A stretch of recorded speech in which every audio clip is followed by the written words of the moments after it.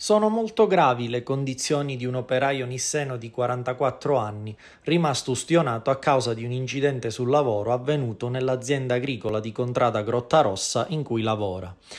L'uomo è adesso ricoverato al centro Grandi Ustioni di Palermo dopo che le fiamme hanno avvolto circa il 90% del corpo.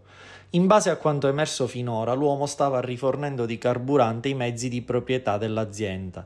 In quei frangenti sono divampate le fiamme che hanno avvolto lo sfortunato operaio, il quale è stato immediatamente soccorso dai colleghi che hanno cercato di estinguere il rogo e poi si sono dati da fare per accompagnarlo in ospedale. Nel frattempo è sopraggiunta un'ambulanza del 118 e una volta che il paziente è arrivato in ospedale, i medici del Sant'Elia hanno subito disposto il trasferimento a Palermo, vista la gravità delle condizioni.